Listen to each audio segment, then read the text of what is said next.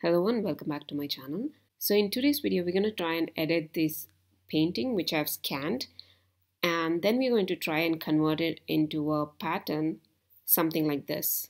I will tell you how to edit these things over here so that you can cut them out and paste them out and make it into a really good pattern. I've already created a video on how to edit the paintings or watercolors in Photoshop in this tutorial, we're going to use a completely different method for that. So you can watch this video as well as the old one and uh, use whichever method is easier and works well for you. Okay, so let's just get started. So I'm just going to my selection tool here. I will click and drag to just take out the part of this yellow bird because I don't want to use anything else and press command or control C to copy this and then I'll go to file and new. I'm not going to change the pixels because this is the size of the actual bird that's already there and I will change this to CMYK because I'm trying to print this thing and this is at 600 resolution which I'm going to keep it like that. I'm going to increase the size later on and click on create. Now press command or control V to paste it here. Now I'll go to image and then image rotation and press 90 degrees clockwise. Now if you want, we can increase the size because I scanned it in 600. I've already covered how to increase the size of an image uh, when you have scanned it at a higher resolution in my previous video. Do go check it out.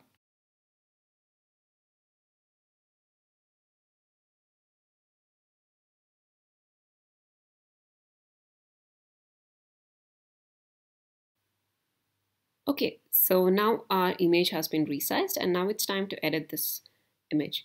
So one thing you can do is adjust the curves to make sure it is bright and colorful. Okay, so the next step is go and click on your magic wand and just click on this white region and I'll click delete. So this should have deleted all the white spaces. Now I'm going to go back and uncheck the background by clicking on this eye. Now I can see that there are some white spaces. Now I'll click here and delete and I'm going to do that everywhere.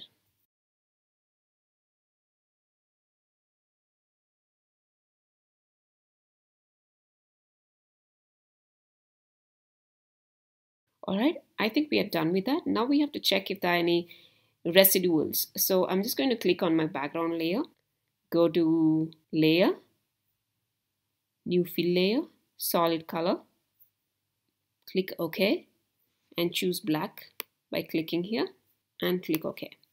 But as you can see, only this region got filled with black. And I'll tell you exactly why that happened. I'm just going to undo this, Command or Control Z. And you can see only this region was selected. So we have to make sure that this is unselected. So press Command or Control D and then this should get unselected. Now let's go to Layer, New Fill Layer and Solid Color. Okay. And let's get in here and click OK. Alright, now you can see everything right here, but you can see these extra spaces, um, things which you want to delete. So go ahead and click on your eraser tool and Make sure you're on your layer which has the artwork and you can adjust the size of this eraser tool by clicking here and adjusting the size. Let's just go ahead and delete these things.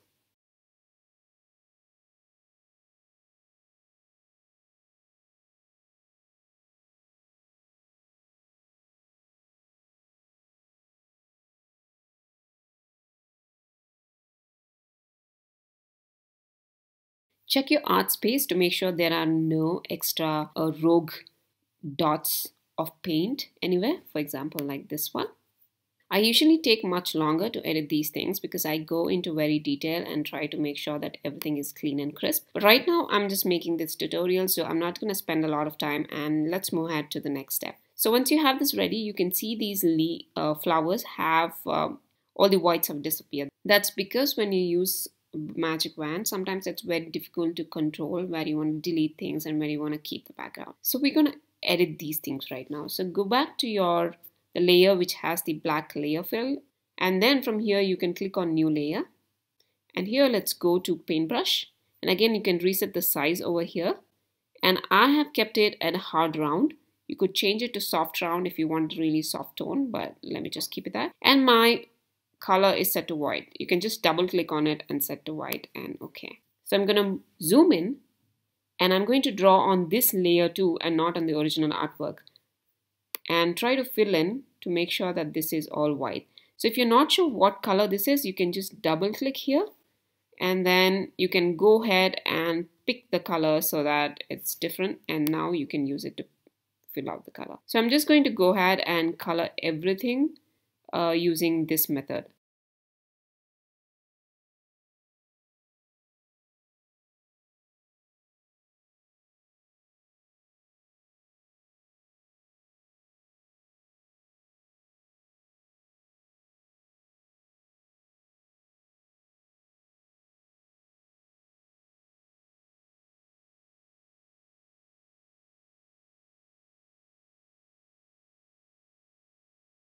So we have finished coloring our image and I think it's good to go. Now I'll uncheck this black layer so that only this part of the layer is present and I'll merge these two by just clicking on this right click and saying merge down. So now this is one complete layer and next we're going to go ahead and do our pattern. I'll open a new file and I'm making this very big that is 8000 pixels by 8000 pixels and I will change this to 300 CMYK color and create. Now let's go here. Use your selection tool, click and select Command C to copy and Command V or Control V to paste. Now it's time to add these extra flowers. So I'll teach you how to replicate them if you want to. So now go to your lasso tool and click and drag this just around this particular flower.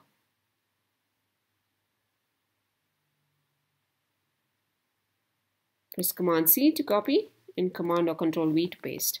Now if I uncheck this layer, you can see this has been copied. So we'll keep this unchecked so we can work with this. Now I'll go ahead and click on my spot healing brush and let's increase the size a little bit more. I think this should be fine. And now we'll start healing this spot.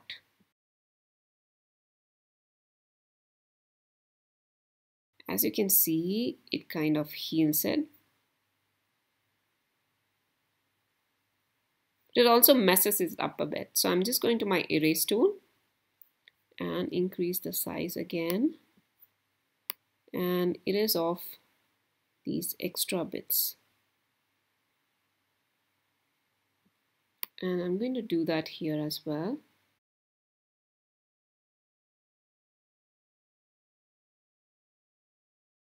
The other option you could do is you could use the clone tool. So when you do this, press, just change the size. Now press Option or Alt key and click and that decides the space.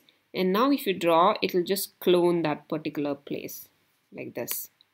So you can just clone it like this. Or you can use your spot healing and then use it to heal So you have made another flower. Now if you click this back and now if you're on layer 2, you can go back to your this tool, the smooth tool and click and drag and place it anywhere you want. Now, if you want to transform it, that is change the size or rotate it, press Command or Control T and you'll get this super nice transform tool. And then you can click on that, reduce it or turn it around. So one thing you should know in Illustrator, if you want to retain the size, you need to hold your shift key down and then click on these arrows. But in Photoshop, for me at least, when I click on shift and then try to adjust this, it does not move uniformly. So I don't hold any shift key, I just move it and then it works fine. So we're going to do the same thing and once you're done with this, click outside and it should just take its position. So now if you want this again to copy somewhere else, press Option Alt, click and drag and you can make a copy. And you should always make sure that you are on that layer which has this object. So we can just drag this and put it somewhere else. So typically you can do the same thing for this flower as well. You can edit it and then add extra things. And we can do the same thing for this leaf as well. So as you can see over here, I just picked up a couple of elements and then replicated them and then moved them around to make a simple pattern which I actually uploaded on Redbubble. Let me just show it to you.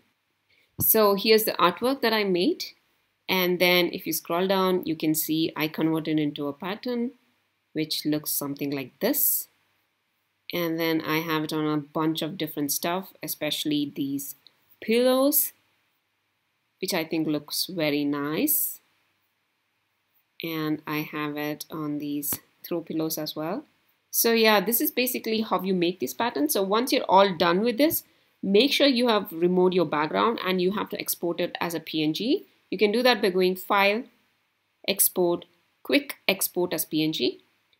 And then you get an option to save it as a PNG. And then if you double click it, you can see that you have a wonderful pattern ready.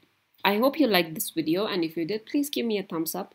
And if there are questions or if you have anything to say, please leave some comments below. And I love reading your comments and I do respond to each and every one of them. If you haven't signed up for my newsletter yet, please do sign up. Uh, the link is in the description. In, the, in this month's newsletter, I'm actually giving out free sketches for these birds. It's actually coloring pages and I've also given a color guide of what colors I've used. So you can use those things and either color them digitally or traditionally and I would love to see what you do with them. Okay, I guess I'll see you next time then. See ya.